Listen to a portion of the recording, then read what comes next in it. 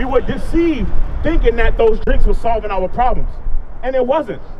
Because once we drink and that buzz falls off, we right back in our problems. And then we go drink again, get another buzz, that falls off and go right back in our problems. Am I lying, Anthony? No. I'm not lying. But we have to keep it real with each other. Because guess what? None, nobody else is going to keep it real with you. No other nations, they want to see you drunk Right. and struggling Right. in society. They want to see that thing. We don't want to see that on our people.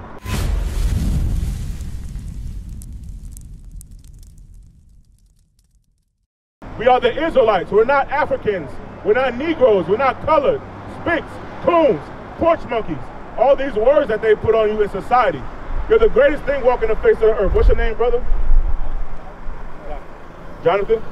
All right, I'm Uzziah Jonathan. So, if I was to ask you what your nationality was, what would you say your nationality is? Say you're a Christian, right? So that's a religion, right? Christian is a religion, but when you ask nationality, I'm asking what your race is. So what, what people do you come from? You say you're black. Black. Right. So can we go to the land of black? Where's the land of black at? We can't go to the land of black. We go to. Say it again. We go, Jesus. Okay, so this is just to show that our people don't know their nationality because there's no land of black, right? We've never seen a land of black, but our people will say that our nationality is black, which is a color. But that's not your nationality. But the right, you said we don't look at colors, but the Bible has color in it. They won't tell you what the Israelites look like because they know that it identifies who you are. Because if I ask you a simple question, right? You said your nationality wasn't black, but you can go to Jesus, right? What does Jesus look like? It, ain't that picture that be in the church. You said it's not the picture that be in the churches, right? Yeah.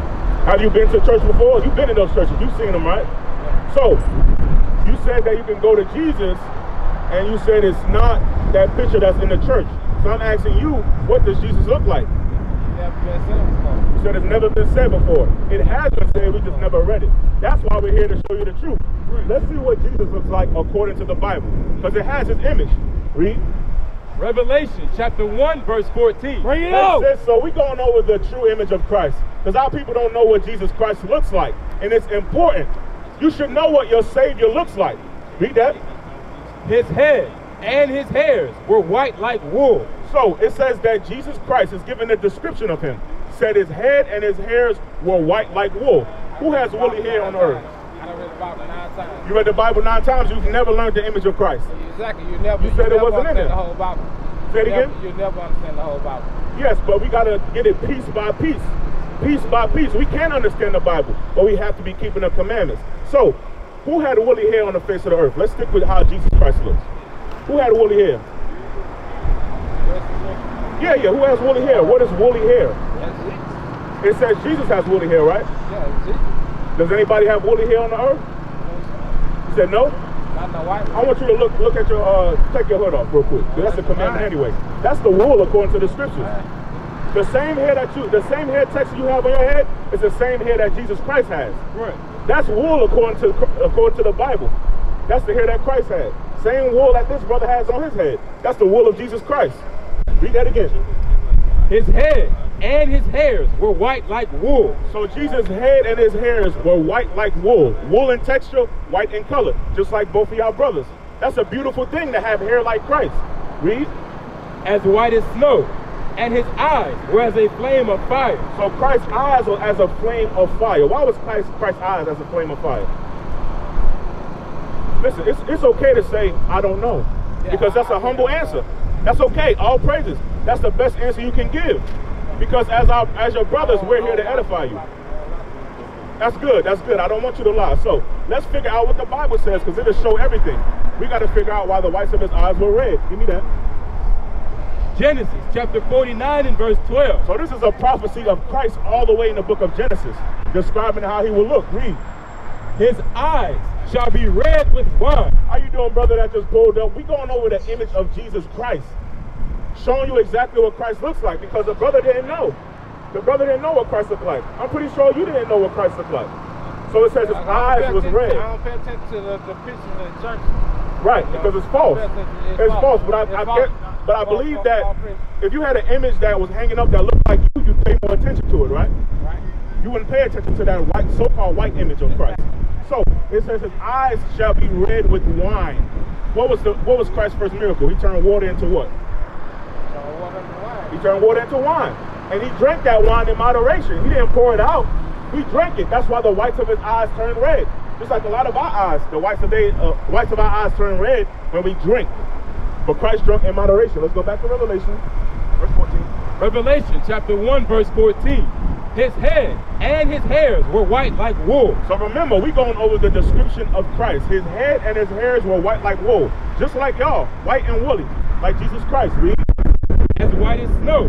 This brother right here, his hair is white as snow. That's wisdom.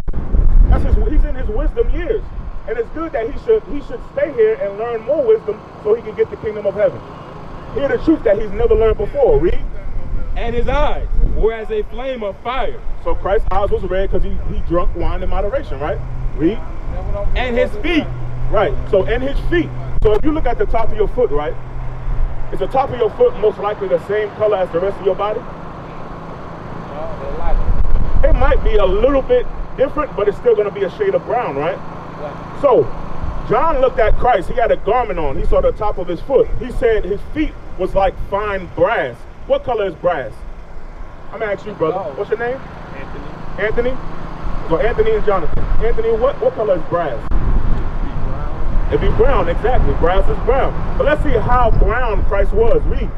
and his feet like unto fine brass, as if they burned in a furnace. So if you take anything and throw it in a fire, what color does it burn to and come out to be? Red. It's gonna be red. It goes red, but then it goes to what color after that? Black. It goes black when it's burned, right?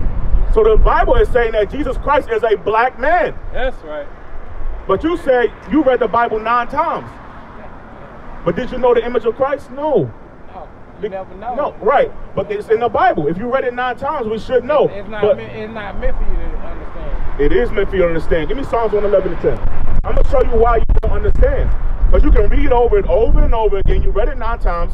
But there's two things, there's two reasons why you don't know that's in the Bible. Bring it out. It's because society teaches you to avoid the truth, and because we're not keeping the commandments according to God. He's not opening that understanding to you. You can't just read the Bible and get the understanding. Give me that Psalms 111 10. Psalms chapter 111 and verse 10. Listen to this. The fear of the Lord is the beginning of wisdom. So you have to be fearing God in order to have wisdom. Let's see how you gain that wisdom. Read. A good understanding A good understanding of this Bible. have all they that do his commandments. So you have to be keeping God's commandments in order to understand the prophecies of the Bible. If you're not keeping the commandments, you'll never gain that understanding. You can read over it nine times and it'll be like, oh, okay, that's cool. And read over it, not realizing that you was made in the same blood of Jesus Christ. Right. After reading it nine times, not realizing that you were made in the image of God. Right. Have you ever read the Bible with that eyesight? No, because society want to keep you in a low condition. We don't come here by accident to teach our people. We know that our people are in the worst conditions in society, in the slums, in the ghettos, being looked over as nothing. Right. It's time for our people to wake up and take back rulership. We once ruled this earth before, but we broke God's commandments and He put curses upon us. Right. Have you ever read the curses in the Bible? You have. Do you know who the Israelites are? I just don't know. The Israelites are spoken to from Genesis all the way to Revelations. So if you said you read the Bible nine times, it must mean it's something deeper to what you have to understand. Because if you read over and over and over and over again, you would know exactly who the Israelites are and you would know your nationality. Give me Deuteronomy 28. Actually, Deuteronomy 27 and verse 1. So, do you know the history about Moses? Anthony, stick with me. You know the history about Moses, Jonathan? What happened with Moses? You did the art. No, that was Noah. Noah built the ark. So Moses, he got the commandments from the Most High God. Y'all brothers with me over there too? Y'all listen. I know y'all listening. So we going into the history of the Bible. We going into the history of the Bible. So Moses gave the commandments to the Israelites. He got them from the forefathers, from our God. He got them from God and gave it to the Israelites, saying, if you do these commandments, you're going to be blessed. If you do these commandments, you're going to be cursed. But let's see who he was talking to, because some people think that Moses was talking to the Egyptians. Let's see who he was talking to. Read. Deuteronomy chapter 27 and verse 1. And Moses, with the elders of Israel, commanded the people. So Moses with the elders of Israel. commanded the people. God is only dealing with the Israelites. So in knowing that truth and knowing that history, you have to ask yourself, well, who are the Israelites? Me Deuteronomy 28 and 1. We have to go back to our true history, which is in these scriptures, and cast away those lies that's been told to us. Read that. Deuteronomy chapter 28, verse 1. And it shall come to pass. So Moses told them it's going to happen. He's giving them prophecies, future prophecies that's going to happen. Read. If thou shalt hearken diligently unto the voice of the Lord thy God, So Moses is warning the people, saying, if you listen to what God says, read. To observe and to do all his commandments, If you do the commandments that was given by God, read. which I command thee this day, that the Lord thy God will set thee on high. So Moses told the Israelites, if you do God's commandments, you're going to be set on high. Now I want you to look at our people, right? Blacks, Hispanics, and Native Americans. Are they set on high in society today? No, we Are the we a lowest- blessed we the nation? lowest on the pole. Exactly. We're the lowest on the pole. We're the last told high, first that the other fired. We the lowest on the pole. Exactly. We're the lowest in society. Ain't that right, Anthony? Yes. Ain't that right, brothers? Aren't the blacks, Hispanics, and Native Americans in the lowest conditions in society? If you go to if you go to any hood, right, any ghetto in New York, in California, in Washington, in England, if you go all over the world to the ghettos, what kind of people are going to be there? Black people and Hispanics and natives in every ghetto in society. That's not by accident, that's by design because we broke God's commandments. Right. So he said that if we kept the commandments, we was going to be blessed and set on high. But like you said, we're not on high today. Finish reading that. The Lord thy God will set thee on high, above all nations of the earth. So if we kept God's commandments, we would be above all nations. We are obviously not above all nations right now. We still go to our enemies for anything we want. For food, clothes, water, gas. We go to our other nations for that kind of resource. We're not above all nations. Give me verse 15. Verse 15. But it shall come to pass So now he's telling them on the flip side, if you don't keep God's commandments, it's going to come to pass. Read. if thou wilt not hearken unto the voice of the Lord thy God, If you didn't listen to what God said, Jonathan, Anthony, let's see what happens. To observe to do all his commandments and his statutes, which I command thee this day. So Moses warned them. He said, if y'all don't keep God's commandments, remember, he's talking to the Israelites, but he's speaking to them about future prophecies. If y'all don't keep the commandments, read. That all these curses, All these what? curses, All these curses. Is a curse a good thing or a bad thing? It's a bad thing, right? Bad. Read that. that all these curses shall come upon thee and overtake thee. So all these bad things are going to come upon you and overtake you if you didn't listen to what God's uh, commandments are. If you didn't apply God's commandments. Read verse 16. Verse 16. Cursed shalt thou be in the city, So Moses warned the Israelites. He said, if you didn't keep God's commandments, you're going to be cursed in the city. Are our people cursed in the city today? Yes, sir. Yes, We are cursed in the city, right? Let's. How? What are some of those curses? I want you to give me examples. Really, for being black. Right? Just being an Israelite alone, You know, just being a so-called black man in society, right? Because we get shot down in the streets at a rapid rate. exactly. We sell drugs to each I don't know other. man, Right. But I see him every day.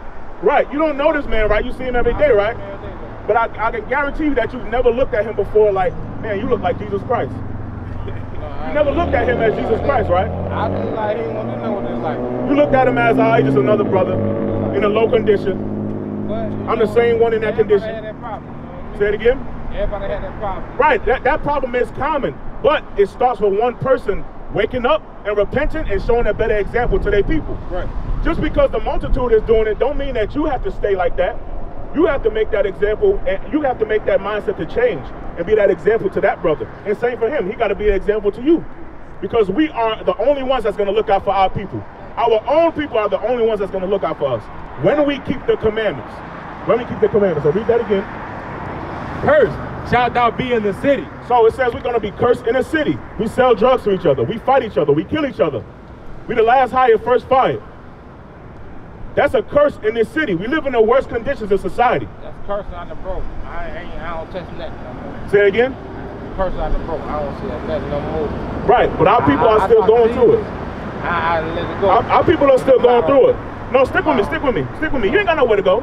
You don't have anywhere to go. You don't have anywhere to go. Give me, give me I'm not homeless, bro.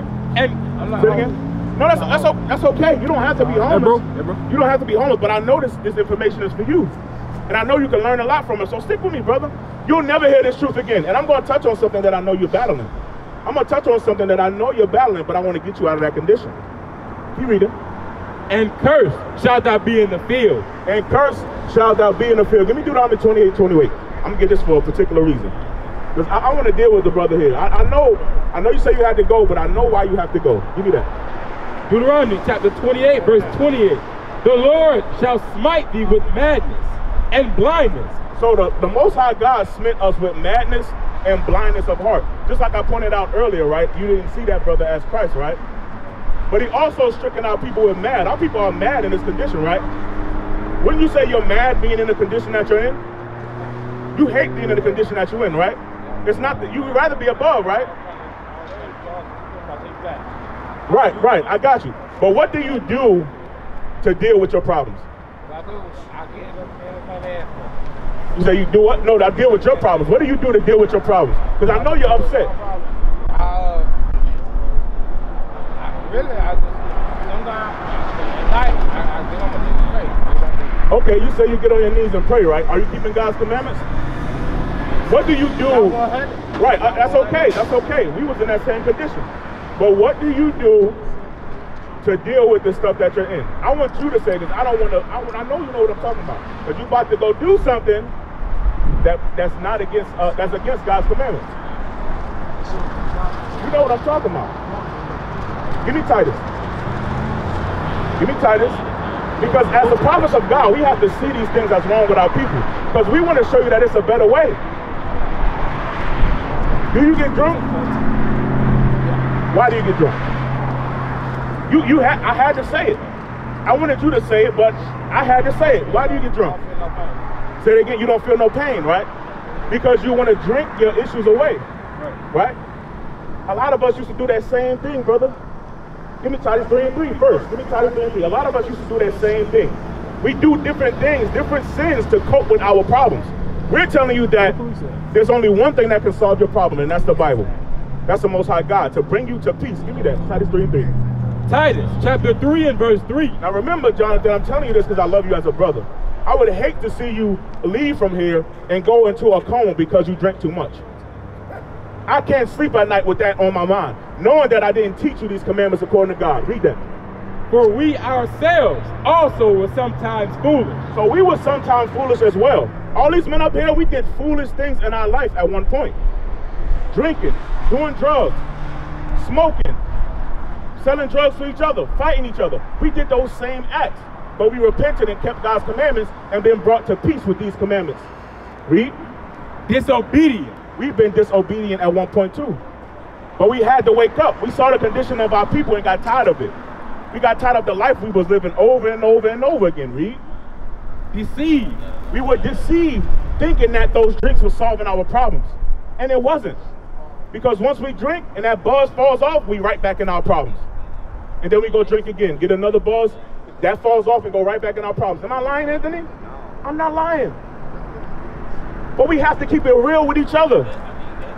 Because guess what? None, nobody else is going to keep it real with you. No other nations, they want to see you drunk Right. and struggling Right. in society. They want to see that thing. We don't want to see that on our people. Read.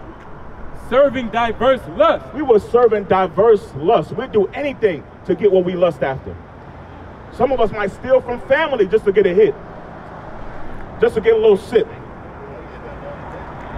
That's the road that our people choose to go down, but we have to change. We have to wake up and realize we're supposed to be kings on this earth, rulers. And we want salvation out of our condition, out of captivity. Read. Serving diverse lusts and pleasures. So we got to stop serving these diverse lusts and pleasures. I know you got issues, but drinking is not the way. It's not going to solve anything for you. Give me Titus. It's not going to solve anything. We have to be sober minded according to the scriptures. Read. Titus chapter 2 verse verse 2. The aged men be sober. So the aged men must be sober. Aged men must be sober. Because guess what? You have much experience. You have experience, and he has more experience than you. Because he's an aged man. He's older. But you got to get aged in this Bible. Right. It's different when you're aged in this Bible. You got a spiritual mindset now. Ain't y'all tired of doing stuff by yourselves? Amen. Don't y'all see us here? Uh, We, we're not just out here to teach. We don't just come together to teach. We congregate with each other. We call each other. We see what everybody is dealing with.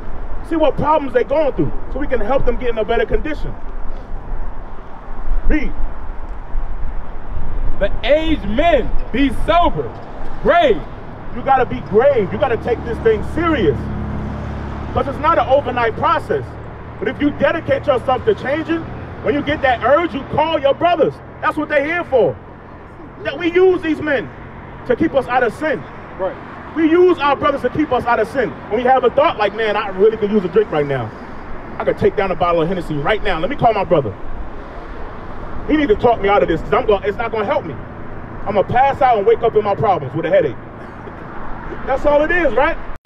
We used to scream black power while heroin was pushed. But at the end of the day, nothing's in vain. IUIC has been given a vision. The tents of Judah has risen. Many has attempted the mission, minor murmuring, omitting, and missing the mark. Just reading that he had the flame of fire in his eyes gave us the spark. We on Paul's mission. We out on the road, purple and gold, from Mexico, Cuba, Haiti, Ghana, Sierra Leone. 144,000 boots banging, concrete crackling. These are how our men repented at heart. The scriptures is proof. IUIC, we deliver the truth.